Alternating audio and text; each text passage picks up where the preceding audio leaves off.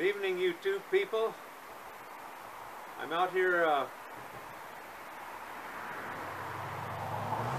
in my northern yard. I don't know whether it's my front yard or my backyard.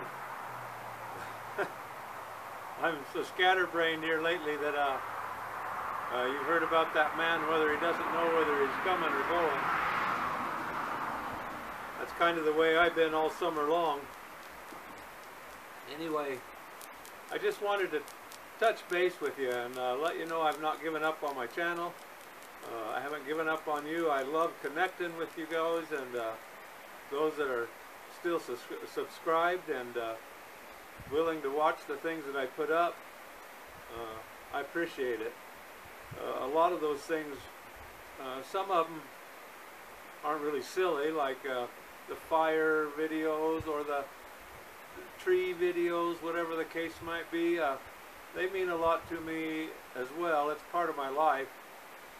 Uh, but it's not uh, the most important part of my life. I guess what I want to say tonight is how much I I want to share with you how I felt about what happened last Monday. Uh, and today is the 26th of August, I guess. So last Monday would have been the 22nd. And uh, right here in Lowman, Idaho, we were in the path of totality, very much near the center of the path of totality of the Great American Eclipse, they called it. Well, it was wonderful.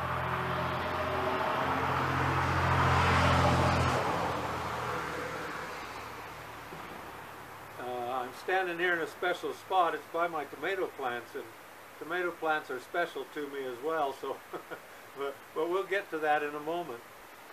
But I just want to share with you what God says about things like the eclipse. And He says it in uh, many places, of course, in the Bible, uh, how He glorifies Himself. But He speaks it out in Psalms 19.1 very well, and He says, uh, David wrote this uh, psalm, and it says, The heavens declare the glory of God, and the firmament his handiwork, shows forth his handiwork. Uh, that, that word firmament, it always used to uh, get me before I was much of a Bible student at all, uh, because it just sounds like something that has to do with firm, firm things. But that's not what it means at all. It means the clear expanse of the high, uh, the sky, the whole expanse of the sky. It declares God's glory. Well, boy, uh, the other day, it really declared God's glory. It was such a fantastic thing.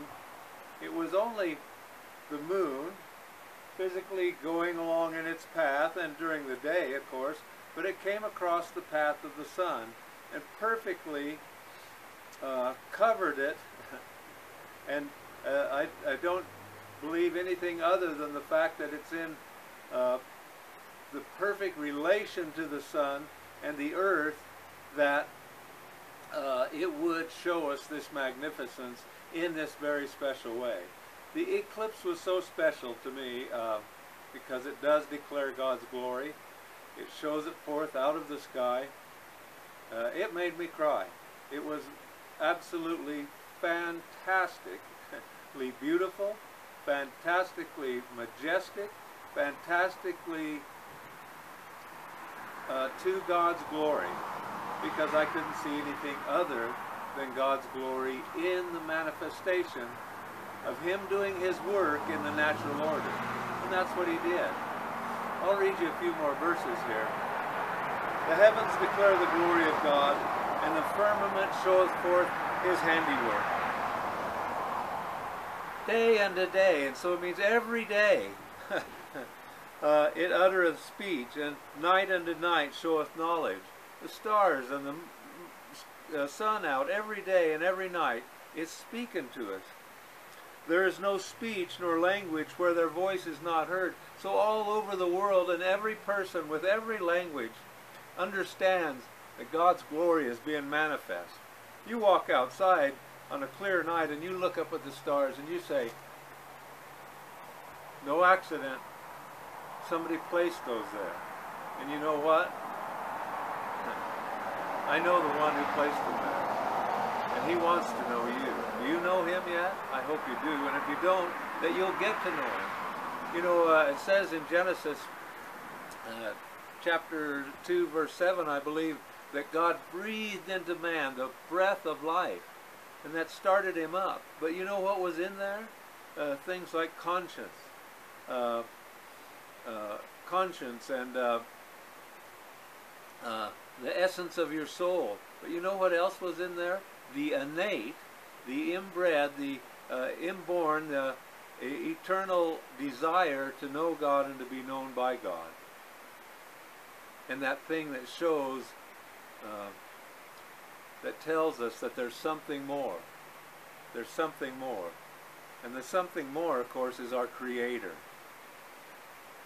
Anyway, their speech goes all over the world, and it tells, there's no place where it's not heard. And their line has gone throughout all the earth, and their words to the end of the world. In them he set a tabernacle for the sun. In the firmament and all the places all around, he set a place for the sun to live. And that's where the sun lives.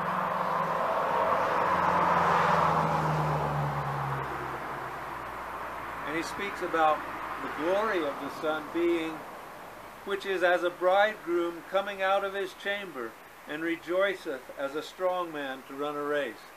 Uh, and he does. He runs a race. He starts over there in the east, and he comes across the sky, and he is glorious, and he is magnificent all the day.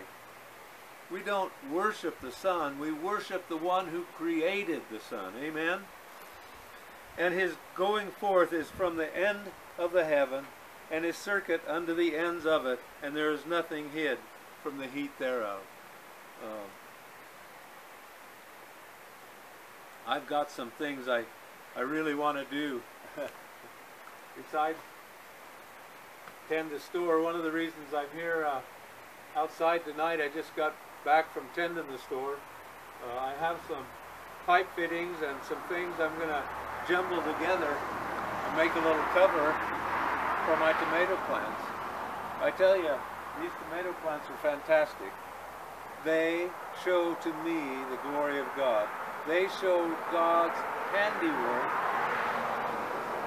His establishment of the natural order of things right here. Let me uh, take you off of that tripod for a minute and show you uh, what's going on.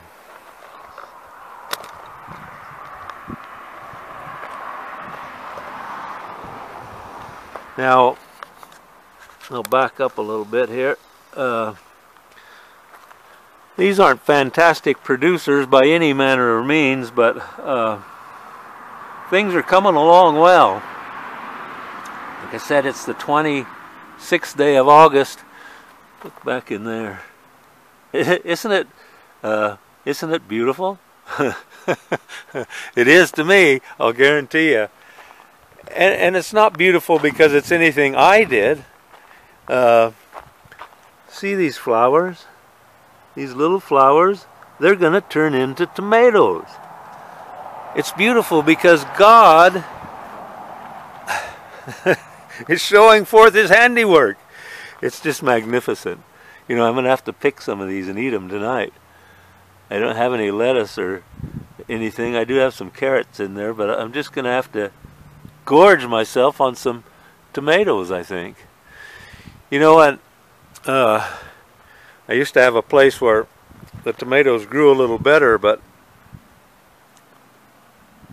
but God knows my heart, and uh, He's blessing me with this harvest. It's wonderful. It's just wonderful. But God declares His glory. Uh, you know, when I watched that watched that uh, eclipse the other day, uh, I, I looked at it, and like I said, I started weeping with joy, overjoyed about God's presence uh, in our lives and His manifestation, uh, Him holding up the natural order of things. Just so wonderful. And that's what He's doing here.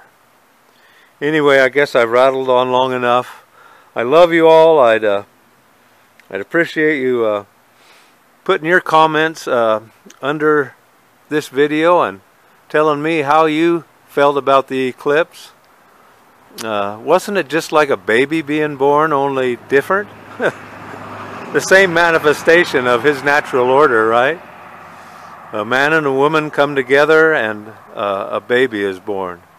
And it's one of the most magnificent things as well. I, I don't know anybody that has ever seen a baby born or that can deny God. Because what do you see, uh, what do you say when the baby comes out of the womb? Praise God. Just like I'm saying over these tomatoes. Praise God. Uh, I hope to put up some good stuff for you in the coming months. Uh, I, I believe I'll have more time. I don't know that, but but I hope to. So until next time, God bless you, and we'll see you soon.